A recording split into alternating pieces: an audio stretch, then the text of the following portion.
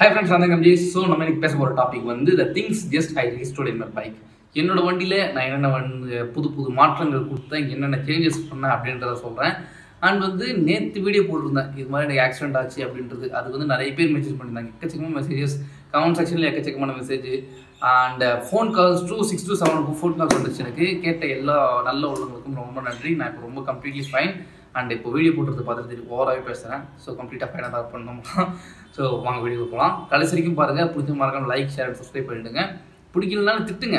திட்டுறது தப்பு இல்லையே. நான் சேஞ்சஸ் கொண்டு வரணும். அடுத்தடுத்து என்ன சேஞ்சஸ் கொண்டு வரணும்னு யோசிக்கிறேன். நீங்களும்.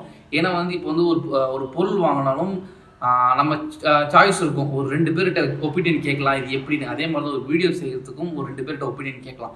இதுக்கு மாதிரி நல்லா செய்யலாமா? இல்லை இது மாதிரி செய்யலாமா? இது மாதிரி டெவலப் பண்ணலாமா? அப்படின்றது கேட்குறது தப்பே இல்லை. கேட்டு இன்புட் வாங்கிக்கணும். நம்ம அதை அவுட்புட்டாக கரெக்டாக கொடுக்கணும். ஸோ கடைசி வரைக்கும் பாருங்கள் வாங்க வீடியோ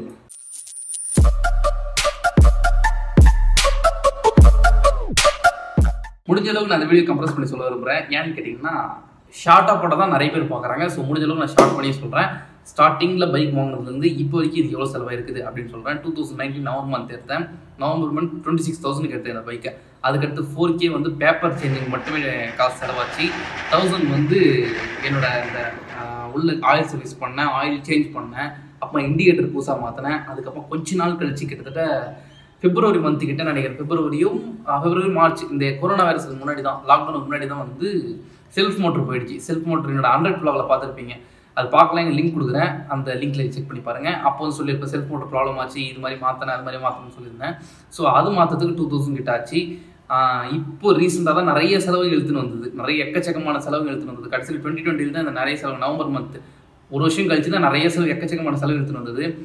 பேக் டயர் பிடிச்சி. பேக் டயர் புதுசாக வாங்கி மாட்டினேன். அது ஒரு த்ரீ கே கிட்ட அரௌண்ட் த்ரீ கே அந்த பேக் டயரு அதுக்கடுத்து இப்போ ரீசெண்டாக ஆக்சிடென்ட் ஆகிறதுக்கு நாலு நாளைக்கு முன்னாடி தான் ஃப்ரண்ட் டயர் மாற்றினேன் சேஞ்ச் பேக்கெட் மாற்றினேன் ஃப்ரண்ட் டயருக்கு வந்து டூ தௌசண்ட் ஆயிடுச்சு. Change packet thousand five hundred கிட்ட ஆயிடுச்சு. ஆயில் சர்வீஸ் தான் எக்கச்சக்கமாக ஆயில் சர்வீஸ் பண்ணேன்.